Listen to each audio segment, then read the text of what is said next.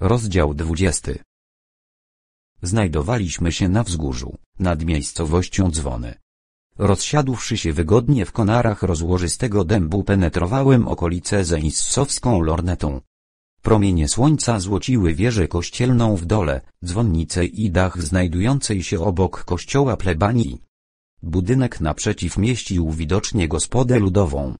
Jak na obrazie Breuchla wodziło się za ubydwu podchmielonych rolników. Schodziły z pastwisk po drugiej stronie wsi krowy. Unosił się dym nad słomianymi strzechami chałup. Mały chłopaczek pędził spod młyna gęsi. Były białe jak w tle niektórych portretów Jacka Malczewskiego. Ot, taki sobie landszafcik z lat miłościwie panującego monarchy Franciszka Józefa. Wsi spokojna, wsi wesoła, cisnęły się na usta słowa mistrza z Czarnolasu. Aż dziw brał, że coś takiego istnieje nieomal w sercu kraju i, zabite od świata deskami, jak niebosiężna twierdza opiera się zakusom postępu. W okolicy panował spokój. Nie chciało się wierzyć, by tę idyllę mogła zamącić teraz lub nawet w dalekiej przyszłości zbrodnia. A więc, koledzy, przemówiłem do uczestników wyprawy, zsuwając się z dębu, chodzi o to, żeby nasz przyjazd był czymś naturalnym. Oficjalnie będziemy prowadzić pomiary. Podczas pomiarów sprawdzi się, czy przybył tu dryblas lat około 20, z piegami na twarzy. Dryblas używa szeregu imion. Jego ostatnim pseudonimem jest Aleja.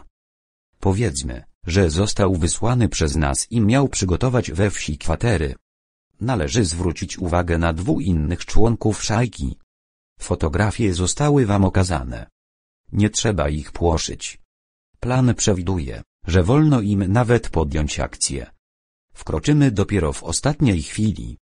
Ciężarówka zatrzyma się tymczasem pośrodku Majdanu, naprzeciw kościoła. Tam dwójki będą przekazywać kolejne informacje szefowi, wskazałem w stronę NP. Dalsze instrukcje w gospodzie, po zakończeniu wywiadu. Proszę się teraz przebrać w kombinezony. Podczas kiedy ekipa, którą zorganizował NP, ruszyła w zarośla, udzieliłem osobnych instrukcji majorowi Kowalskiemu i porucznikowi Jemiole. Powiedzmy, że przybyliście obaj do dzwonów po linii kontraktowania rzepaku, lnu, roślin pastewnych, maku i tym podobnych rzeczy. Musicie sprawdzić, czy Al, Mingel i Tracht nie mają przypadkiem w dzwonach znajomych. To by im pozwoliło skorzystać z czyjejś gościny. Jest całkiem możliwe, że są tu inni filateliści poza proboszczem. Skinęli głowami na zgodę. Scenograf do mnie. Rzuciłem, widząc, jak z krzewów wychodzi szóstka mierniczych w kombinezonach. Scenografem nazywaliśmy kolegę z laboratorium NP, który pracował uprzednio w teatrze. Podszedł z walizką, zawierającą szminki, peruki, jak też przybory potrzebne do charakteryzacji. Major Kowalski i porucznik Jemioła jako agenci skupu są za bardzo miastowi, ocenił fachowym okiem. Trzeba im podcieniować zarost, przybrudzić koszulę, a także pomierzwić włosy. Wiadomo, tak jeszcze nie ma, żeby w każdym przysiłku był hotel. Tacy, nie ubliżając i im, nocują zazwyczaj w sianie albo na snopku słomy. Kowalski z Jemiołą poddali się bez słowa swoistemu makijażowi. Wąsik Ala Haplin czy Adolf Menioł? spytał, podchodząc z kolei do siedzącego na pieńku NP. Niech będzie jak. Haplin. Wybrał z namysłem NP. Po chwili miał z lekka zgłupiałą minę. Patrzał w lusterko i sam siebie nie mógł rozpoznać. Osiwiałem z kolei w ciągu dwóch minut. Nos wyrósł mi dłuższy co najmniej o centymetr. Sumiaste, szczernione henną wąsy nadały mojej postaci wygląd szlagona. Nóżkie pokąsał tygrys. Na polowaniu. W Transfalu. Dlatego proszę troszkę utykać. Małpował scenograf. Odszedł o parę kroków, obejrzał mą postać z jednej i drugiej strony, po czym wyciągnął z ciężarówki tyczkę. A kto zaszczyca przyjazdem dzwony? spytał. Wiadomo, geodeci. Dlatego, majorze, tyczka w rączkie. Wystaje na zewnątrz dekawki. Zabraliśmy ze sobą dekawkę NP jako bardzo nadającą się do reprezentowania spółdzielni pomiary geodezyjne. Napis dawał się zetrzeć z drzwiczek w ciągu minuty. Ba, tylko jak ja będę rozmawiał z proboszczym? Zastanawiałem się w dekawce, trzymając wysuniętą na zewnątrz sztyczkę. Od czego zacząć? I co mu właściwie powiem? Co? Powiesz na przykład, filozofował NP, gładząc swój wąsik, powiesz, że jako starego szlachcica interesuje cię sztuka kościelna. Sądząc po wierzchu, kościół jest z lat, kiedy obraz bocznym ołtarzu mógł wymalować, powiedzmy, Guido Reni. Ty już tam będziesz wiedział kto. Wybrali cię kiedyś do pilnowania w Muzeum Narodowym damy z łasicą. Idź raczej w kwestii teologicznej, doradził major Kowalski. Spytaj na przykład o dogmat nieomylności papieża. Ja podszedłbym od kuchni. Raczej od strony świeckiej. Postarałbym się pogadać z gosposią. Bo ktoś tę całą plebanię musi prowadzić? Rozważał jemioła. Trudno było przewidzieć, jak mnie powita ksiądz proboszcz. Czy i w jaki sposób postara się nam dopomóc? Tym bardziej, jeżeli miał w swoich rękach nabytą chyba za ciężkie pieniądze kolekcję załód. Wjechaliśmy w pierwsze opłotki. Nasze przybycie wywołało popłoch wśród gęsi i prosiąt, które owładały bez reszty klepiskiem drogi. Ciężarówka trąbiła, hamując raz po raz, by nie przejechać nasrożonego indora. Biegła w ślad za dekawką gromada umorusanych dzieciaków. Dorośli nie objawiali zaciekawienia ani zdenerwowania dzwony nie bały się geometrów i wcale się nimi nie przejmowały. Stanęliśmy na brukowanym kiedyś, chyba w czasach panieszczyzny, Majdania. Z gospody naprzeciw kościoła zajeżdżało alkoholem i wonią kiszonej kapusty. Z boku, w sadzie, oddalona od drogi, bielała obszerna plebania. Oddałem NP trzymaną dotąd jak berło tyczkę i podczas gdy miernicy wyskakiwali z ciężarówki, kulejąc ruszyłem w poszukiwaniu władzy. Było w tym centralnym punkcie dzwonów, nie licząc dzieciarni przy ciężarówce i kaczek w zielonym bajorku, prawie że pusto. Niech będzie pochwalony, pozdrowiła mnie zgięta ku ziemi babina. Wszedłem na cmentarz kościelny i wahałem się właśnie, czy wejść do kościoła, czy też skierować się alejką prowadzącą w stronę plebanii. Na wieki wieków. A czy nie wiecie przypadkiem, babciu, jest wasz ksiądz proboszcz w kościele? A jest, jest, młody panie, i jeszcze tam jedną grzesznicę spowiada. Wszedłem na schody. Skierowałem się babińcem w stronę bocznego ołtarza. W promieniach padających od góry przez witraż czerniały zarysy konfesjonału. Było chłodno, zacisznie i tylko od tamtej strony szemrał niepokojący strumień grzechów. Druga, młodsza i bardziej krzepka babina zwierzała się spowiednikowi ze skruchą, że czary w nocy na swoją sąsiadkę rzuciła. Że ma gdzie z drugiego końca wsi zamiast pół kopy sprzedała dwadzieścia dziewięć, bo trzydzieste jajko było z łońskiego roku z bukiem. Że zła kłamstwa, zdzierając dwie kartki, nie dotrzymała postu, bo kalendarz za czwartkiem pokazał od razu sobotę. Że wrobiła niedawno w dwa funty masła ćwierć margaryny, a mleko odstawia do zlewni pół na pół z wodą. Chrobotały piskliwe słowa jak myszy w kruchcie i chociaż nie miałem zamiaru podsłuchiwać, niosąc się na wą i odbijając echem na chórze, wpadały mi w ucho. Spowiadający pocieszał, ganił, beształ, jakkolwiek nie widziałem jego oblicza, zdawał się cierpieć za winy przez się niepopełnione. Sam jakby nie mógł doczekać się końca. Wreszcie baba odeszła. Wstał chyba z ulgą. Ujrzałem rzeźką, niemłodą już postać wiejskiego księdza. Podniosłem się z ławki. Myślnik, czy pan czeka na mnie? spytał przepraszającym głosem. Ksiądz proboszcz Wojtik. Tak. Chciałem prosić księdza o parę minut rozmowy. Służę. Wskazał mi przejście koło ołtarza w stronę zakrystii. Był późny wieczór, kiedy wszedłem z Majdanu w podwoje gospody ludowej w dzwonach. Daj pani piwo. Rzeźnicka twarz bufetowej skrzywiła się z miejsca na widok obcego. Wzięła kufel, który wprzód sam wypłukałem, i powiedziała. Droższe o jeden złoty, bo złamał się resor. Niech będzie, jeśli was nie stać na lepszą drogę. Rzuciłem z pańska. Chrząknąłem przy tym i podkręciłem sumiaste wąsy. Nic, nic. Będzie i droga. Stuknął się ze mną wyrosły jak spod ziemi propagandysta Kowalski. Jego obecność w gospodzie świadczyła, że dzwony są już opanowane, że mamy je w jednym palcu. A oni, co? Geometry? Względem kołchozu czy też za drogą? Zagadnął gość, któremu bym wrzepił tydzień za samą fizis. Przeszliśmy na bok, by uniknąć zwady, i siedliśmy przy brudnym jak święta ziemia stole. Miał tę wyższość w stosunku do innych, że znajdował się blisko otwartego okna. Dusiło od zapachu przypraw i ulików. Szczypał w nos zaduch przegniłych ogórków. Migocąca, upstrzona przez muchy żarówka nadawała wnętrzu charakter meliny. Przyzwyczajałem oczy.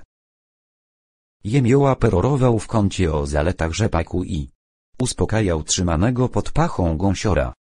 Kosztuje tu dwa razy taniej niż na stołecznym bazarze, poinformował mnie przedtem Kowalski. Sześciu kolegów w kombinezonach, udając geometrów, raczyło się w kącie piwem. Tymczasem NP odrzucał łapówkę w kwocie tysiąca złotych. Chodziło o drobiazg, o to, by przesunąć kopiec graniczny. Spostrzegłszy moją obecność, rugnął namawiającą go do przestępstwa grzesznicę. Tę samą, którą spotkałem w nawie kościoła. Przysiadł się do nas. No, jak dieła, boys. Allricht, odrzekłem w światowym żargonie. Smotri. A to niby co? Co? Nie widzisz? Klucze. Od wszystkich pokojów plebanii. Świsnąłeś. Skąd? Ksiądz jest morowy facet. Sam mi zaproponował. A zbiór załód?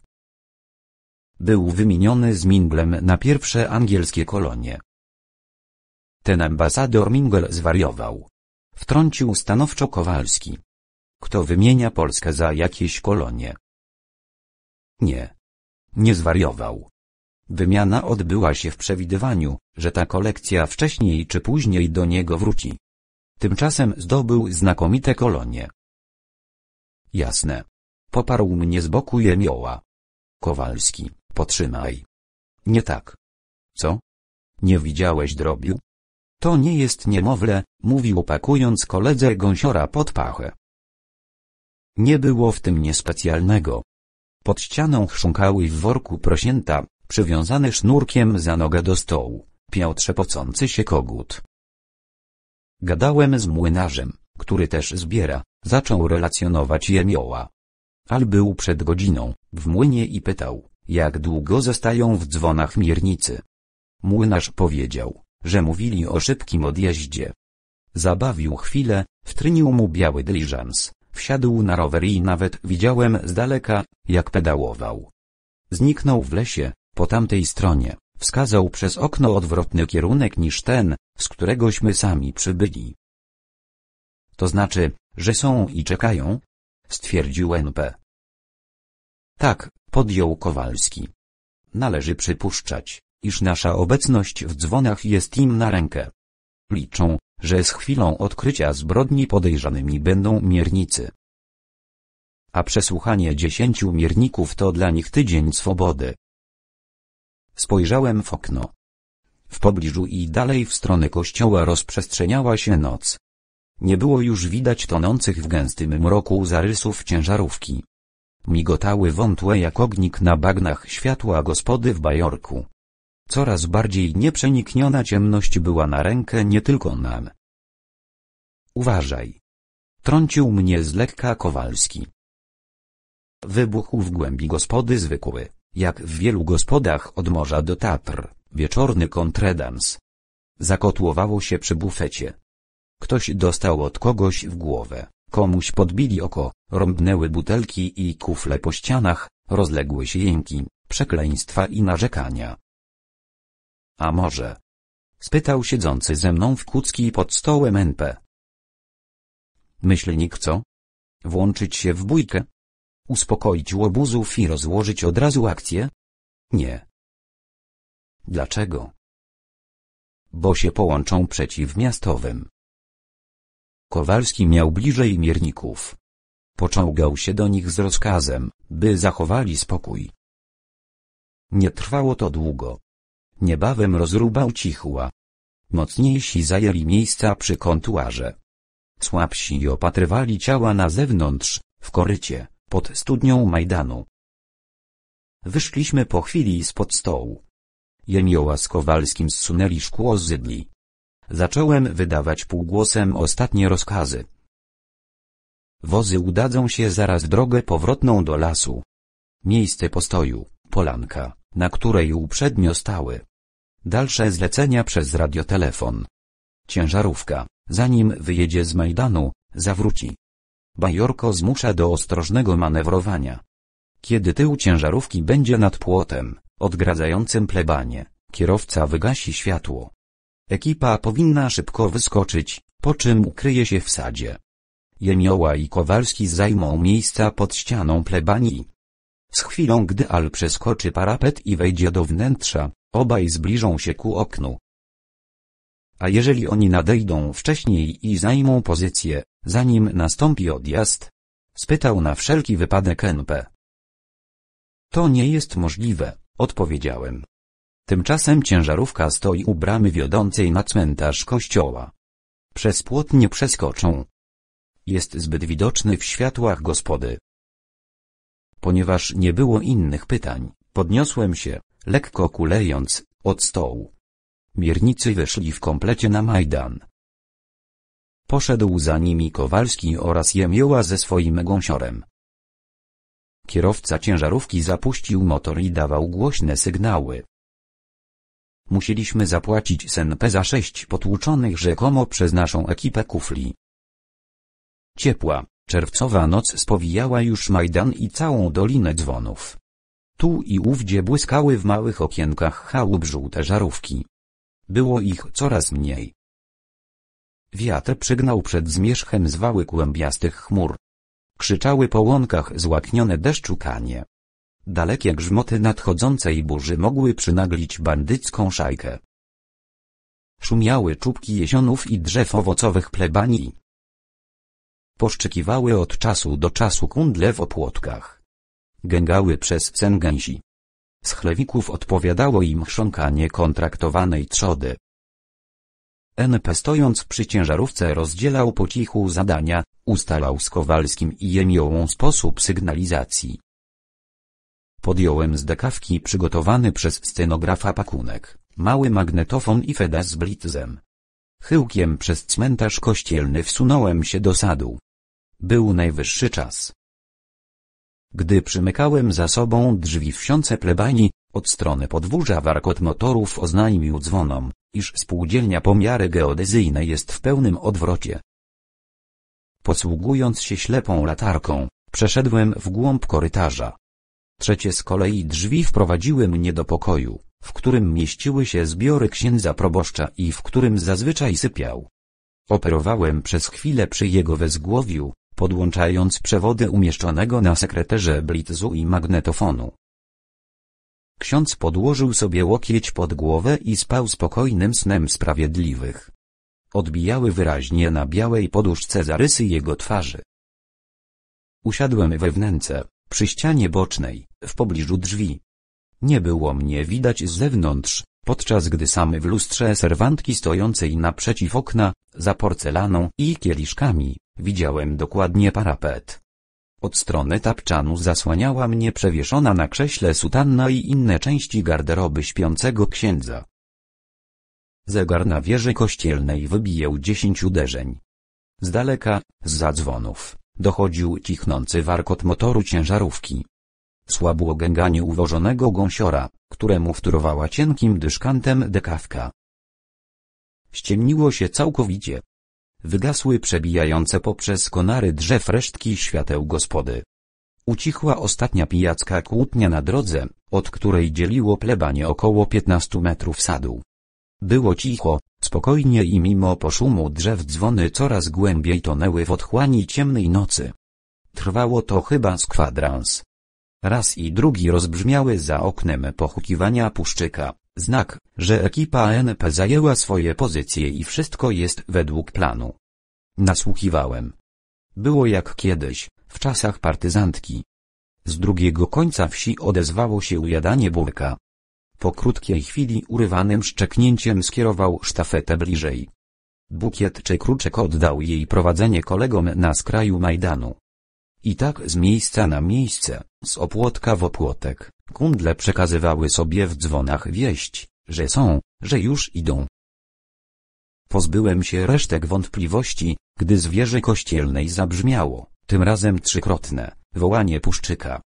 Znaczyło to, iż szajka w pełnym składzie trzech osób, minąwszy cmentarz, weszła do sadu. Wiatr tłumił kroki.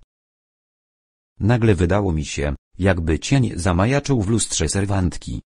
Nie mogłem rozróżnić kształtów.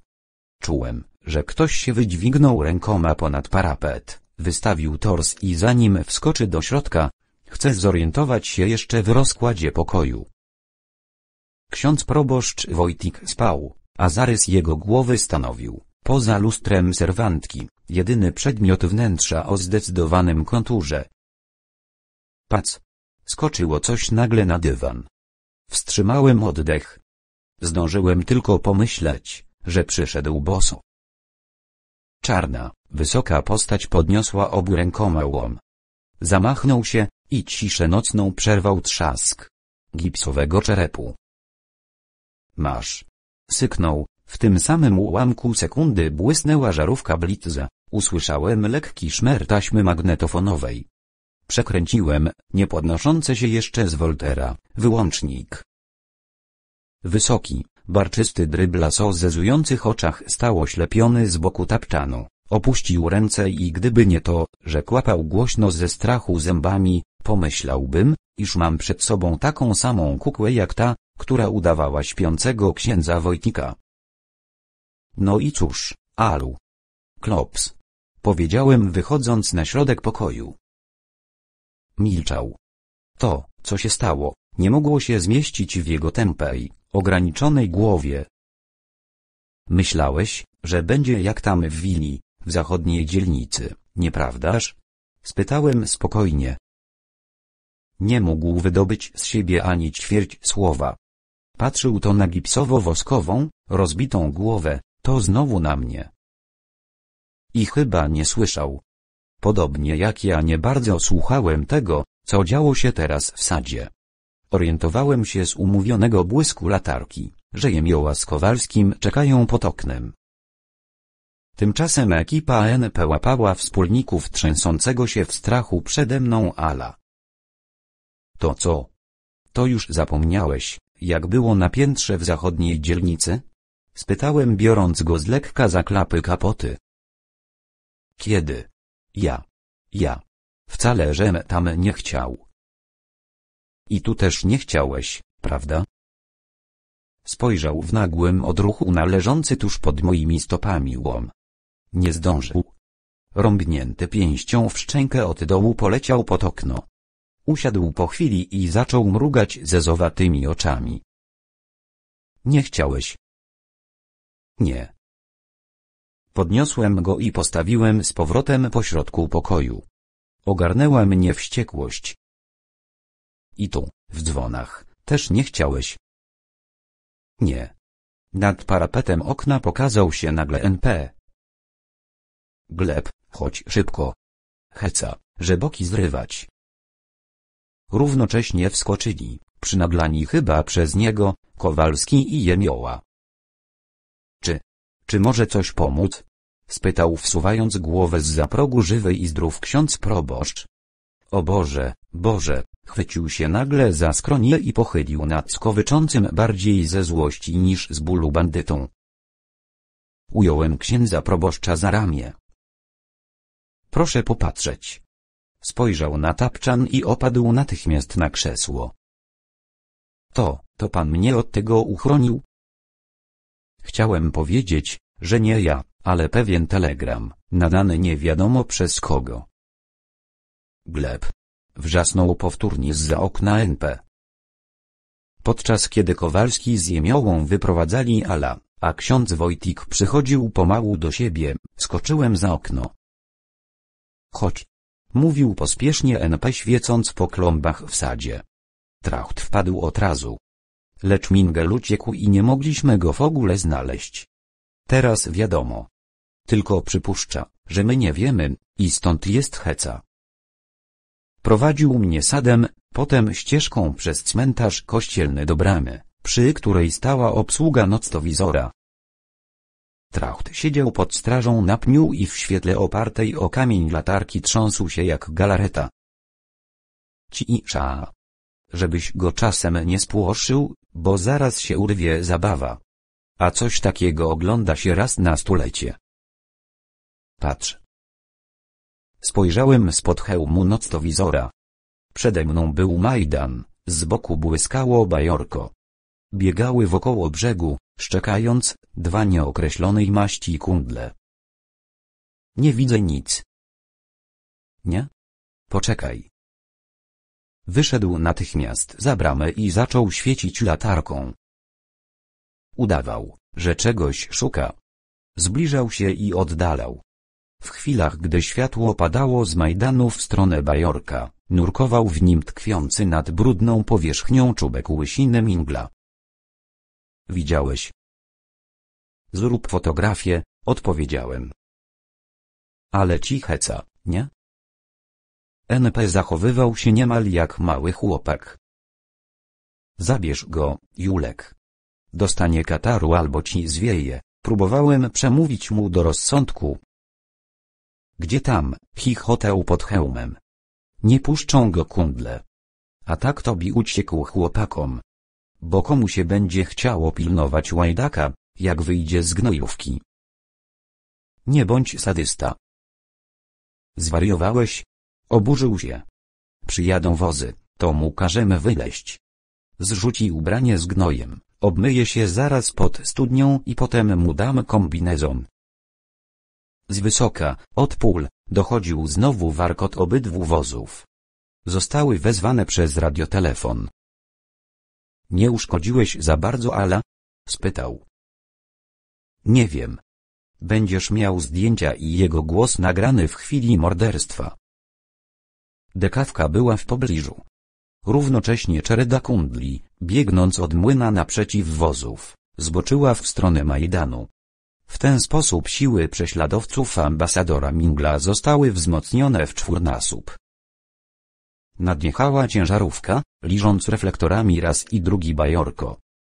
Jęzor światła zatańczył po opłotkach i ścianie zamkniętej gospody, po czym, z chwilą zahamowania wozu, oświetlił bajorko na stałe. Nie było już mowy o tym, by wyszukany schowek zostawał nadal poza podejrzeniami. Dopiero teraz zaczęła się na całego psia szczekanina. Mingel spostrzegł, że dalsze nurkowanie nie rokuje najmniejszych nadziei. Wstał z kolan i zaczął wołać płaczliwym głosem pomocy. Panowie, błagam, pozwólcie. Jęczał, aż niosło się echem po dzwonach. Ociekał lepką gnojówką. Powierzchnia bajorka nie sięgała mu nawet do pasa. Im głośniej krzyczał, tym bardziej zajadle ujadała sfora zebranych po brzegach kundli. Nadszedł ksiądz proboszcz.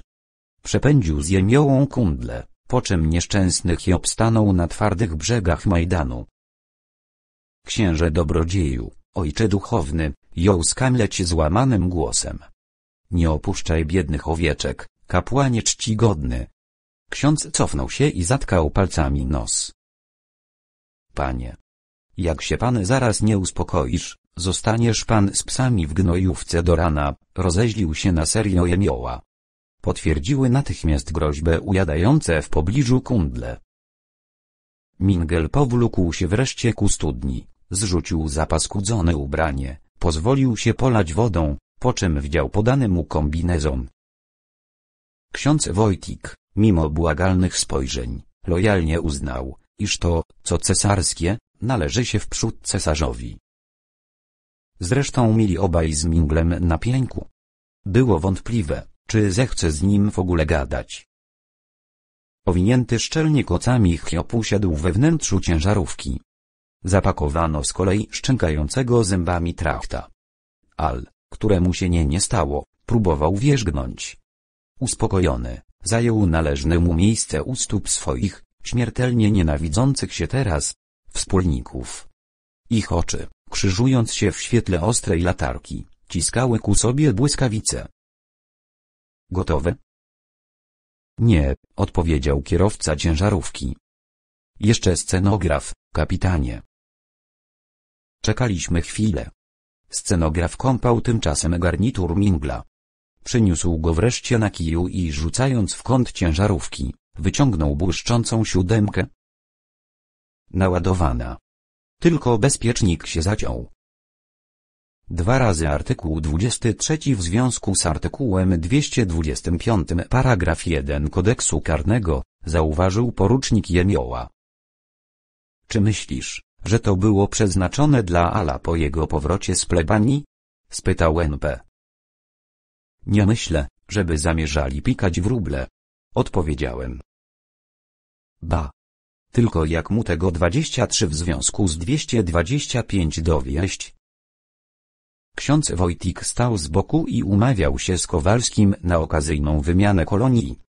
Jemioła miał do oddania watykańską serię Sede Vacante, potrzebną księdzu do zbioru. Gotowe? Tak. Kowalski z Jemiołą skoczyli do ciężarówki.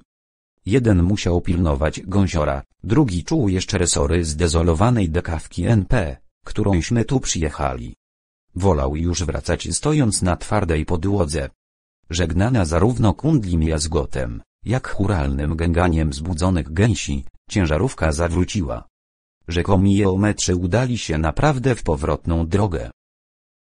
Jestem panom do głębi zobowiązany, mówił ksiądz proboszcz na ścieżce wiodącej przez cmentarz kościelny, a potem przez sad ku plebanii.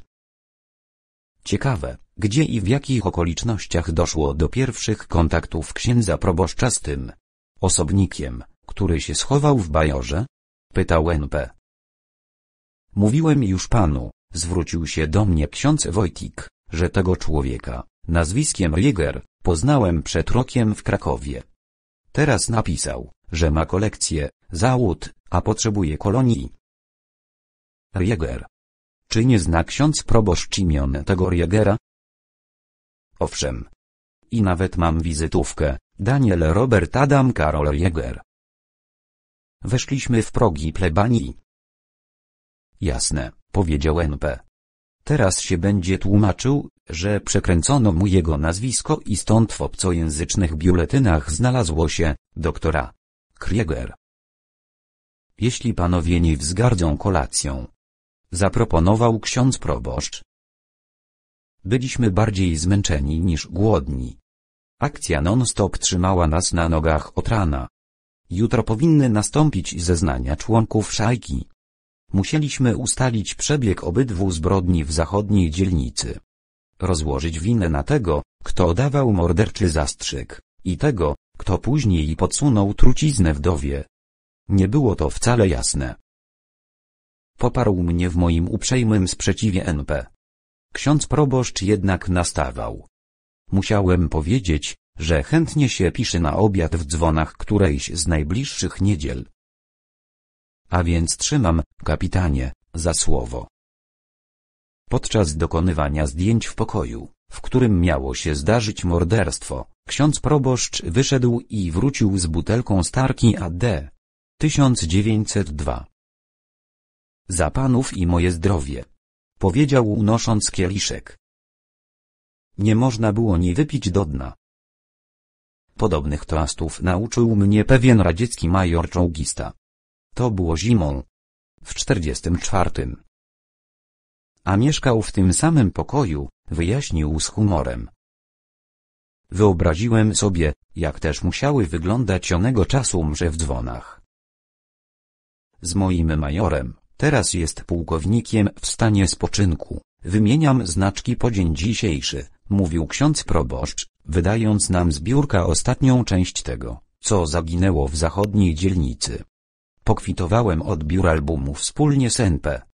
Wartość kolekcji zawód kopiejek 10 była zbyt znaczna, by ją kwitować jednym podpisem. Zauważyłem dopiero teraz wiszący na ścianie. Diligence. Był taki sam jak tamten w Muzeum Poczty we Wrocławiu. Mingel wpakował widocznie fałszerstwo księdzu proboszczowi.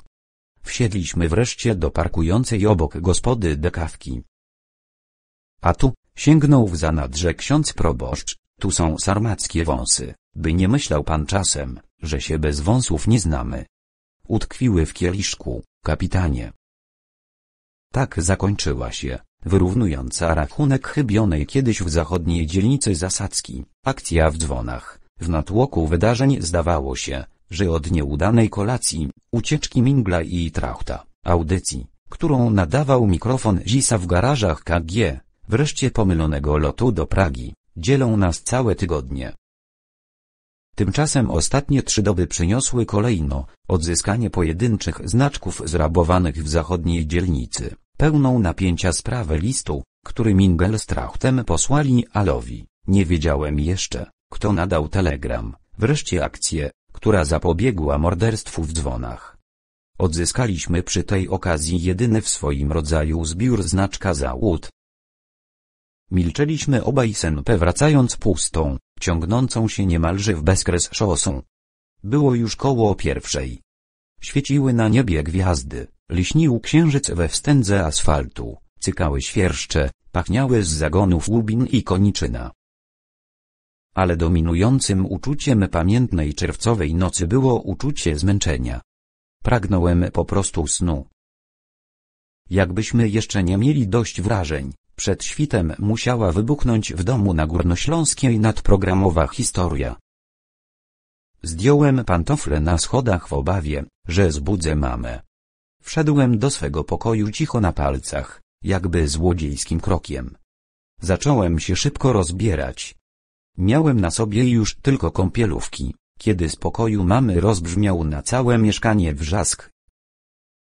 Bandyci! Pomocy! krzyczała. Gdy wbiegłem trzymając w ręce piżamę i stanąłem nad jej wezgłowiem, mama otworzyła oczy. A, to ty? To już wróciłeś? spytała. Idź spać. Wiesz, śniło mi się, że przyszli bandyci z nożami i chcieli zielony klaserek. Miała tam swoje klasyki. Po upływie minuty, zmieniwszy we śnie pozycję, uśmiechnęła się błogo, co najmniej jak gdyby w zielonym klaserku był czworoblok pierwszej, tej reprodukowanej przez firmę Stolow, Gujany. Nie wiedziałem doprawdy, czy śmiać się, czy zacząć przeklinać upiora hobbyzmu który na koniec nie dawał mi chwili spokoju we własnym domu,